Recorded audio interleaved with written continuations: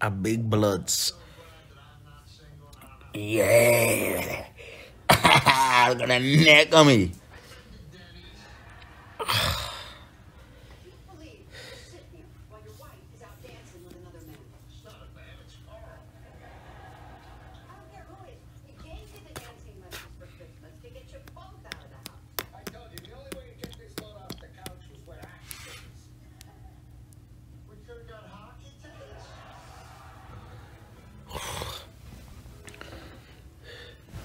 I'm getting jacked.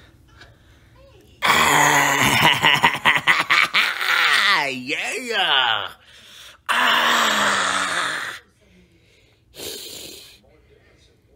I'm in a bit of pain. I'm in a lot of pain. My mobility is, you know, I'm gonna be like this for a while. It's gonna take. It's not gonna be.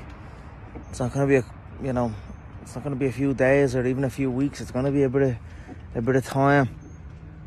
So I kind of went went into a little look after that, but yeah, now I know there's going to be ups and downs on this journey that I'm going to be on, and I'm aware of them now, and I'm just a bit more happy, a bit more accepting of it, and you know, motivated to keep going.